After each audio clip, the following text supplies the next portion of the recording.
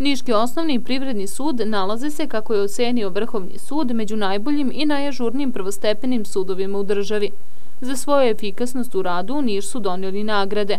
Za doprinos u napređenju efikasnosti i kvalitetu sudskog sistema i za povećanje broja rešenih starih predmeta u odnosu na prošlu godinu.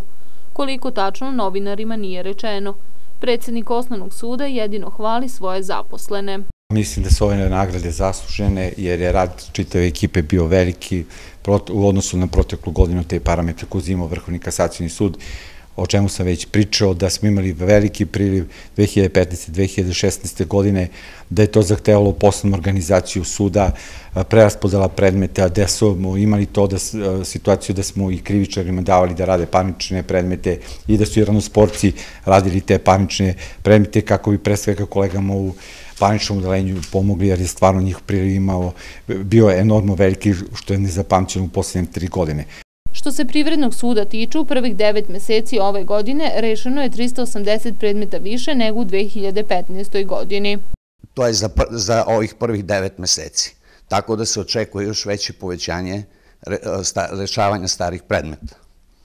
Smatram da je ova nagrada zasluženo dobijena i da ta nagrada predstavlja i nagradu za kolektiv i za sve zaposlene u sudu.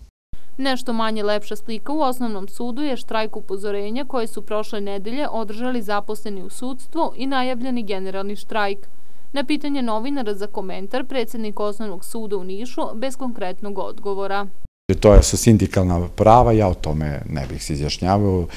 Zakon štrajko je jasan, to je, ovaj, on predviđa obaveze minimalno procesa rada koje mora da se ispoštuju, sindikati su to najavili i ja se nadam da će oni to ispoštovati.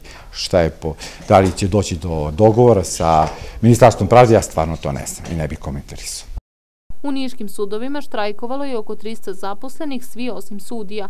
Zahteve su poslali Ministarstvu pravde, premijeru, Visokom savetu sudstva, predsednicima sudova.